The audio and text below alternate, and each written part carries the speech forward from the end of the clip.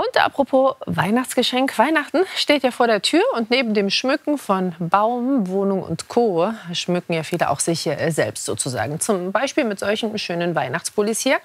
Ja, und da sind wir schon beim Thema, ist das schick oder eher grausig? Das ist ja immer so ein bisschen Geschmackssache. Falls Sie aber noch auf der Suche sind nach einem ganz speziellen Weihnachtspulli, wir hätten da jetzt das eine oder andere Angebot für Sie. Und ich sage mal so, man muss es wirklich mit Stolz tragen können.